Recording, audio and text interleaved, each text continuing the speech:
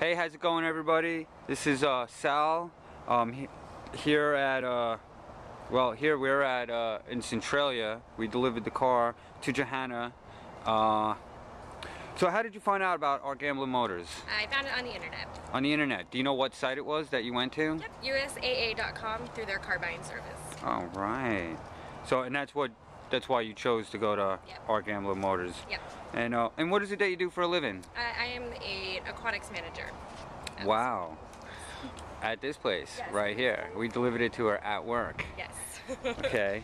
And uh and what are you planning to use the vehicle for? I'm moving across country, so I'll be driving um, across country in winter and then in wintry conditions on the East Coast. So just a lot of work and travel. Right on.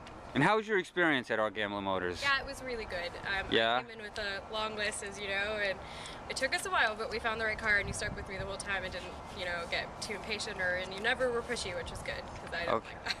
So you'd recommend this to a friend? Uh, yeah, I just did actually. Yeah. Sent her off with your card, so That's right. Okay. All right. Awesome. I appreciate your business and uh have a good day. yeah, thank you.